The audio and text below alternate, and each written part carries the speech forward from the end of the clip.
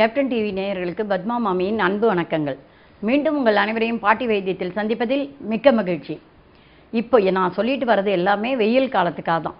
அதே மாதிரி வெயில் காலத்தில் வர ஒரு நோய் வந்து தலைவலி. சாதாரணமாக எப்போவுமே பல பிரச்சனைகளில் தலைவலி வரும். ஆனால் அதெல்லாம் ஒன்னொன்றுக்கும் ஒவ்வொரு மருந்துகள் சாப்பிடலாம். இப்போது இந்த வெயில் காலத்தில் வரக்கூடிய இந்த தலைவலி அதை போக்குறதுக்கான மருந்து தான் அதுக்கு என்ன பண்ணணும்னா நம்ம அதாவது அதிகமாக தண்ணி குடிக்கிறது வெயில் அலையாமல் இருக்கிறது இதெல்லாம் ஒரு பக்கம் இருந்தாலுமே நம்ம வாரத்தில் ஒரு நாளாவது சாதாரணமாக எண்ணெய் தேய்ச்சி குளிச்சுட்டு வந்தாலே இந்த தலைவலி வராது. அதாவது நல்லெண்ணெயில் தலையில் வச்சு நல்லா தேய்ச்சி குளித்து வாரத்தில் ஒரு நாள் அந்த தலைமுடியும் நல்லா காய வச்சுக்கணும். நல்லா காய வச்சுட்டு தொடச்சிட்டு அதுக்கு பிறகு த தேங்காய் எண்ணெயை தேங்காய் எண்ணெயை தலையில் வச்சு தலை முடிய வாரி இப்போ பெண்களாக இருந்தால் தலைமுடியை வாரி பின்னி போட்டுக்கணும். அப்படி ஆண்களாக இருந்தாலும் கொஞ்சம் தலையில் எண்ணெய் வச்சுக்கணும். ஆனால் அதெல்லாம் செய்யறதில்ல. அது மழை காலத்தில் செய்யாட்டியும் கண்டிப்பாக வெயில் காலத்தில் தலையில் எண்ணெய் வைக்கிறது ரொம்ப நல்லது. அது ஏன்னா தலையில் எண்ணெய் வைக்கிறதுனால ரெண்டு காரணங்களால் அது நல்லது. ஏன்னா ஒரு காரணம் தலையில் எண்ணெய் இருக்கும்போது வேர்வை வந்தாலும் அது வெளியில் போயிடும். அதில் நம்ம தலையிலேயே திருப்பி ஒட்டி உள்ளே போகாமல் இருக்கும். அழுக்கு படியாமல் இருக்கும். அதுக்காக. ரெண்டாவது வந்து சூரியனுடைய வெளிச்சம் வெப்பம் வந்து நம்ம தலையில் டைரெக்டாக படும்போது அது ரிஃப்ளெக்ட் ஆகிட்டு போயிடும். அந்த நம்ம உள்ளுக்குள்ளே நம்ம உடம்புக்குள்ளே அந்த ஹீட் இறங்காமல் இருக்கும். இதுக்காக தான் அந்த காலத்துலலாம் இதெல்லாம் விளக்கமாக சொல்லாமல் சொன்னாங்க. இதெல்லாம் செய்யணும் பழக்கத்தில் கொண்டு வரணும்ன்ட்டு. சரி இப்போ இதெல்லாம் நீங்கள் செய்கிறீங்களோ செய்யலையோ ஆனால் தலைவலிக்கிறது அப்போது என்ன பண்ணணும் அப்படின்னு கேட்பீங்க அதுக்கு நான் இப்போ நான் சொல்ல போகிறத நீங்கள் செய்யலாம். என்னென்னா இதுவும் அப்படி தான் கண்டிப்பாக வாரத்தில் ஒரு நாள் எண்ணெய் தேய்ச்சி குளிக்கணும். அந்த எண்ணெயை எப்படி கே தேய்ச்சி குளிக்கணும்னா ஒரு அதாவது ஒரு நூறு மில்லி லிட்டர் அளவுக்கு நீங்கள் நல்லெண்ணெய் எடுத்துக்கோங்க. அதே போல் நூறு மில்லி லிட்டர் அளவு தேங்காய் எண்ணெயும் எடுத்துக்கோங்க. இது ரெண்டையுமே கலந்து அடுப்பில் நல்லா சொ கொதிக்க விடுங்க. சூடு சூடு பண்ணுங்கள் நல்லா. நல்ல சூடு ஆன பிறகு அதை நிதானத்தில் வச்சுட்டு அந்த கேஸையோ அடுப்பையோ நிதானத்தில் வச்சுட்டு அதுக்கு பிறகு அதுலேருந்து அதில் வந்து ஒரு ஸ்பூன் அளவு மிளகு போடுங்க. அதே போல் ரெண்டு மிளகா வத்தல். சிகப்பு மிளகா வத்தல் இருக்குது பார்த்தீங்களா அதில் நீட்டு மிளகா தான் குண்டு இந்த குண்டு குண்டாக இருக்கிற குட்டி மிளகா இல்லை. நீட்டு மிளகாவை ரெண்டு அதில் போட்டுருங்க. இது ரெண்டையும் போட்டு உடனே கேஸையோ அடுப்பையோ அணைச்சிடுங்க. அல்லது இறக்கி வச்சிருங்க சட்டியை. அது நல்ல அந்த அந்த போட்ட உடனே என்ன ஆகும்னா மிளகுலாம் வெடிக்கும்.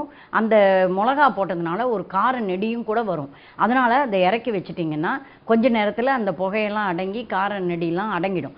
அதுக்கு பிறகு ஆறின பிறகு உங்கள் கை சூடு பொருக்கத்தில் இருக்கும்போது அதை எடுத்து வாரத்தில் ஒரு நாள் இதே மாதிரி செய்யணும். அதை எடுத்து தலையில் தேய்ச்சி நல்ல உடம் உடம்புக்கும் தேய்ச்சிக்கலாம். முதல்ல தலைக்கு ஃபுல்லுக்கும் நல்லா தேய்ச்சிட்டு தலை ஃபுல்லாகவும் நல்லா அழுத்தி தேய்ச்சி அதுக்கு பிறகு மீதி இருக்கிறத உடம்புலையும் தேய்ச்சிக்கலாம். கை காலில் எங்கெல்லாம் சூரிய ஒளி படுமோ அந்த இடத்துலலாம் தேய்ச்சிட்டு குளிச்சிங்கன்னா திருப்பி அதாவது அதெல்லாம் தேய்ச்சிட்ட பிறகு இது இதெல்லாம் தேய்க்கிறதுக்கே ஒரு அஞ்சு நிமிஷம் பத்து நிமிஷம் ஆகும். அதுக்கு பிறகு ஒரு பத்து நிமிஷம் இருந்துட்டு அதை ஊற வைக்கிறதுன்னு பேர். அந்த மாதிரி ஊற வச்சுன்ட்டு அதுக்கு பிறகு சீயக்காவோ அரப்போ க நான் சொல்கிறதெல்லாம் அப்படி தான் ஷாம்பு போடக்கூடாது சொல்லுவேன் அதனால் க கடலை மாவோ சீயக்காவோ அந்த மாதிரி எதையாவது வாசனை பொடிகள் கலந்து அந்த மாதிரி தேய்ச்சி குளிங்க. அதில் தயிர் கூட விட்டுக்கலாம். அப்படி இல்லையா? கொஞ்சோண்டு லெமன் இந்த சாரை கூட விட்டுக்கலாம். அதெல்லாம் விட்டுன்னு இந்த வெயில் காலத்துக்கு அந்த மாதிரிலாம் விட்டு கூட தலையில் தேய்ச்சி குளிக்கலாம். இது குளிக்கிறது மூலிமா உங்களுக்கு வெயிலுடைய சி வெப்பம் தணிஞ்சு உங்களுக்கு அந்த சூடு ஏறாமல் தலைவலியும் வராமல் இருக்கும். அதோட கூடவே ஈறு பேனு எது இருந்தாலும் இந்த வெயில் காலத்தில் அதுதான் ரொம்ப ஜாஸ்தி அதில் உண்டாயிடும். அந்த மாதிரிலாம் இல்லாமல் பொடுகெல்லாம் வராமல் இது காவந்து பண்ணும். இதை மாதிரி ஒன்று செஞ்சுட்டே வரணும்.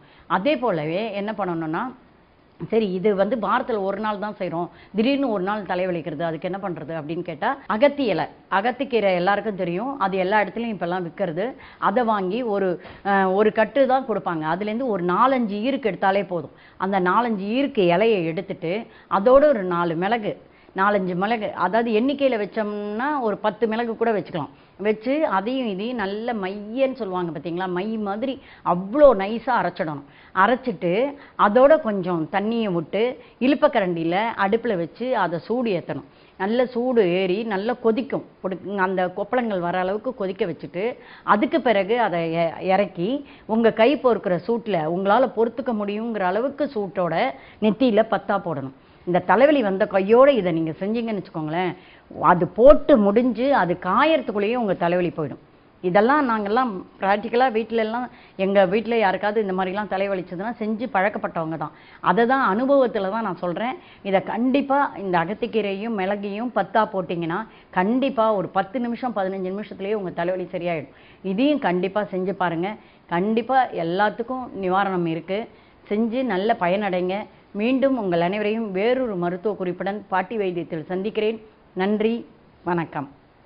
சூப்பர். இன்னைக்கு செக்மெண்ட் எல்லாம் பார்த்து என்ஜாய் பண்ணியிருப்பீங்க. ஒரு ஒரு செக்மெண்ட்டும் உங்களுக்கு ரொம்ப யூஸ்ஃபுல்லாக இருக்கும். அது மட்டும் இல்லாமல் எங்கள் வீட்டு சமையலை நானும் வந்து ஒரே தடவை சமைக்கிறேனே அப்படின்னு நீங்கள் ஆசைப்பட்டீங்கன்னா ஒன்றும் பண்ண வேணாம்.